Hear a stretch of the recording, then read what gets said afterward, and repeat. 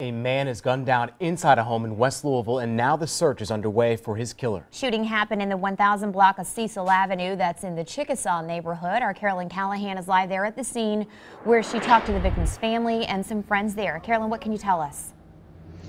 Well, Karen and Colin, this is something that no family and friends should ever have to go through. Family and friends are here at the home behind me.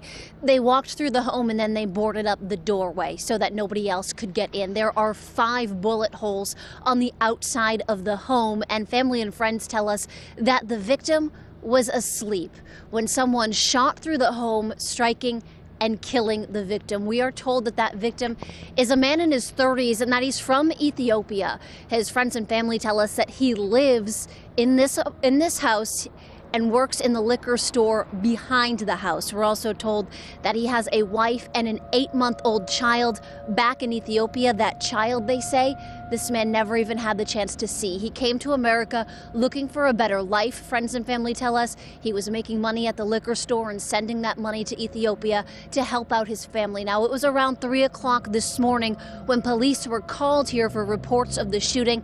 They found the man dead inside of the home. Neighbors here tell us they're frustrated.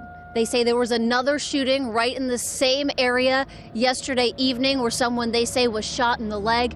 And then this at 3 o'clock in the morning. They tell us they want something to be done. They're sick of seeing police on the street and having their neighbors be shot and killed.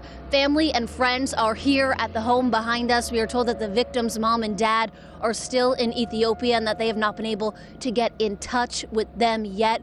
Right now, Louisville Metro Police not giving out much more information, but no one has been arrested in connection with this shooting.